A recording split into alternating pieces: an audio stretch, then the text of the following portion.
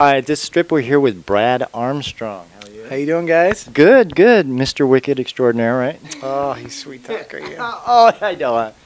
So, what do you got? What What is the latest projects you've got that you just finished up? Um, the latest one is uh, Asa's uh, first movie for us as a contract girl. Asa gets wicked, and uh, sh- it's one of those star vehicles where she's in every scene. Uh, Oh, kind of an okay. artsy vignette, and uh, she uh, keeps her Asaism uh, with every every every scene is anal or DP, and uh, not only you getting the hard sex, but it's really good looking as well. Yeah, that's very good. Yeah, she's one of your newest girls now, too. She right? we just signed her in uh, let's say October. Okay. So uh, she's fresh out the gate. That's uh, she's been in a couple movies uh, uh, for us in the past. Uh, we used her pretty religiously because she's so good, but uh, uh, she was ready for a change, and we were happy to have her. So and it all kind of uh, came up by accident on Twitter. oh, nice. Somebody Love Twitter, right? Somebody tweeted me, "You should sign Asa Akira and Madison Ivy." And I said, "Well, I think Madison Ivy just got signed." And Asa texted me and said, "Was it you guys who signed her?" I said, "I said no, it was Brazzers." He goes, "Ah," I said, "But we'd be happy to have you both." And she goes, "Really?" I said, "Well."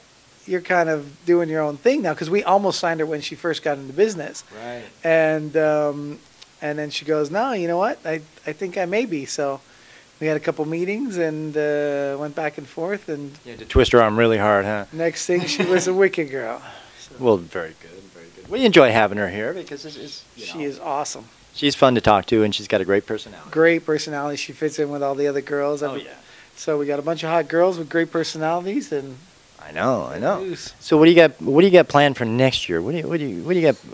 Um, we got a couple couple of big things. I think we're gonna uh, five years later do uh, Fallen Two, which Oh, finally another one. still Nice. still to this day one of our biggest sellers. Uh, I, I, that is one of the trademark ones. you Yeah, know? so uh, I think we're gonna. We were actually gonna do it in November, uh, but uh, then it started getting cold, and we had a couple of other difficulties. So we have a lot of like rooftop sex scenes and this and that. So I didn't want everybody freezing their nuts off. So No, uh, no. we decided to push it to uh, this spring when we get a little bit better weather. So we got that.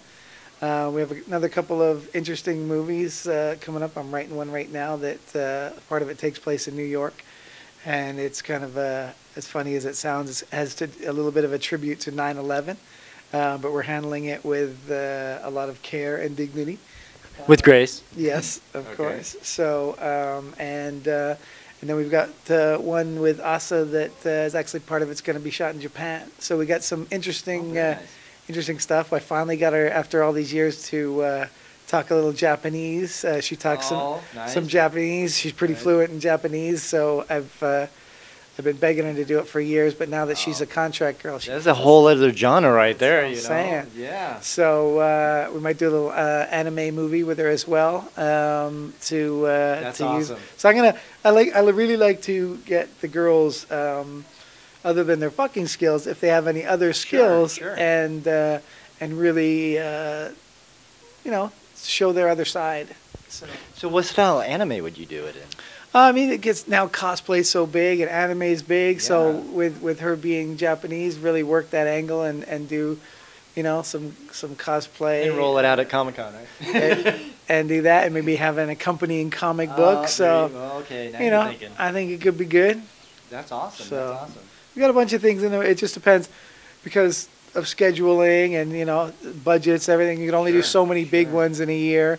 So it just depends on. I've got my my wish list of things to do. Now how, now, how many times do you plan a movie and you get it all thought out and you get it planned out, and then you think, okay, and then you go, wait a minute, I, I went over budget. Yeah, well, between budget and scheduling, and sometimes as you know, uh, your lead all of a sudden is sick or has to fly out of town with a family emergency. So, nothing worse than getting everything together and then have it, or you've got a a uh, moratorium or whatever. Oh, yeah, you know what yeah, I mean. So, yeah. nothing worse than getting everything together and then having to put the brakes on. Now what? uh, Now what about? Um, I just totally lost my question. There you go. You want me to give you one? Awesome. Yeah, pull one out of my ass for me.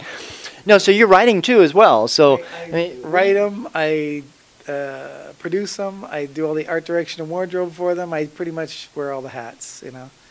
I have a producing partner in David Lords now, um, but for the most part, I I'm the Mad Hatter. Now, also was saying when she comes on set that you have her wardrobe laid out for her already.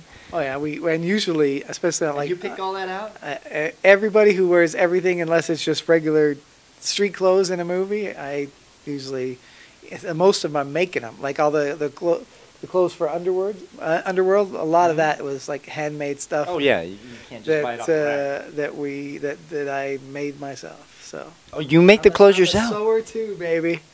Wow, I wouldn't have So, never guessed. Yeah, I would I, have never guessed that you're. a years of seamstress. I used to be a uh, a male stripper back in the day Mhm. before I got into porn, Yeah. and I actually made as much money making the guys' costumes as I did dancing. I believe it. So believe there's it. only so many places you can go for cool shit, especially for dudes. That's So, true. It followed me into porn as a as a life skill. And that's funny you bring that up because I just read that article the other day, and it said that you hate HD at the time.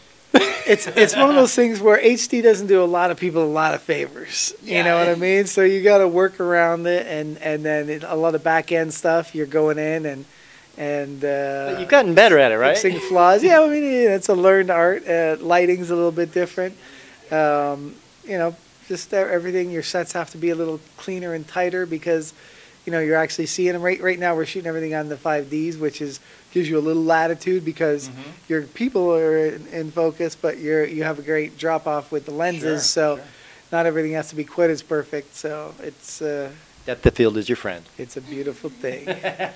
Especially when you get a crappy backdrop and it just looks so great when it's all blurry. Yeah, you know? for sure. There was there's a couple times when you're going, ah, this set doesn't look quite as good as you know, or you're, if you're in a big mansion, it's a great place, but you see marks on the walls and everything. Sure. It's like, oh shit. So There's Timmy when he was four, and Timmy when he was 12. You know, it's all on the wall. You know? we did that in a in um, un, uh, in uh, countdown. Mhm. We had a, a bar scene and. It was one of those bars. It was a great bar, and we got it for a great price, and it was right by the office, so we didn't have to go anywhere for it. But the whole wall uh, was, you know, framed pictures of all these Oh. famous, all these famous people, and we had you can't have any of those. we had to actually shot. go in and do a, a test to see how out of focus they were uh, before we before we decided to shoot it and go. Is it enough out of focus? Yeah. You should have printed a bunch of bunch of like pictures of you and just put them all, taped them all on there. That's it. little little you know little Easter egg for everybody. yep. So So if- if so if I if I had the money and I just gave you a hundred million dollars right now to do anything you want, what would you do? it would not be porn. No, I mean, okay, now you're. Uh, you know, there, there's a number of projects because yeah, right now I, I just cut down my, my number of movies for the year Sure. uh, because it was it was a bit of a treadmill, and after 20 years, it's like, uh. so uh, I just cut my movies down, and we're looking for other things to do, and, and mainstream projects are definitely there. So I've got a couple of scripts that if you were giving me 100 million dollars, I would do. I probably have about five five movies I could squeeze into that, uh, if not more, and, and make a chunk for both of us. And uh, but yeah, I've got some smaller budget ones and some bigger budget ones. So, um, you know, it's it's uh, it's a goal. So, so where do you come up with the ideas? I mean, is it just is it random? Are you a readaholic? Do you read a lot of No, stuff? I'm not a or- reader whatsoever. I am a, a TV and movie junkie, so some of them are swiped a little bit. Some of them are uh, um, uh, and kind of a montage of a of a number of movies or a character I find interesting in one movie. I'll put them in a completely different uh, atmosphere. You know what I mean? Yeah. Um, some of them are just.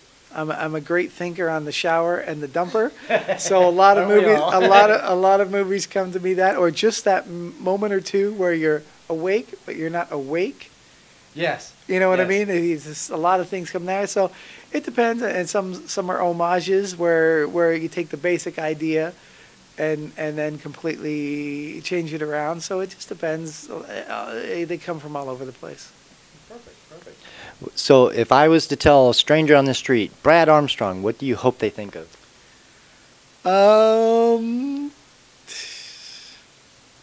that I make good movies. You know what I mean? For the most part, I do two or three different kinds of movies. I do the kind of uh, all vi- all sex or, or, or vignette version where it's all really high end and classy and polished. I do kind of so the, a couple of here and there the romantic comedies, and then the big budget epics. So I've, I'd say for the most part, I'm known for the for the epics. Good filmmaker. I Bottom do, line. I do my best. Bottom line. Well, how many awards are you guys up for this year? Um, Underworld is up for 17 itself. Um, out of that, Wow. I take about uh, four of those home out of, uh, to put on my mantle. Uh, You got a big mantle, right? yeah, I, I polished off a little area today. Had the maids clear a little Last bit. year's uh, yeah. Um, and then I've got a couple of other smaller movies that are up for for uh, half a dozen or so things. So we'll see what happens. Hopefully, uh, fingers fingers. crossed. Yeah. Fingers crossed. So What do you like to do in Vegas while you're here? you know what? You usually don't have enough time to go because you've got other obligations. So there's not quite enough time to go do other shit in between. I Um, I like the shows, obviously. The last one we saw was A- Absinthe, which Oh, was okay. a, a really good show. Um, so we'll see. And usually uh, we hang out a little bit uh, a day or two after the show to kind of unwind. and, and so we hit a couple of shows then, and then it's back to work. Hit the buffet and go back home. I love buffet, oh, that for sure. Awesome. So. All right. Well, thank you for taking the time with us today. Have a good Thank you so much. All right.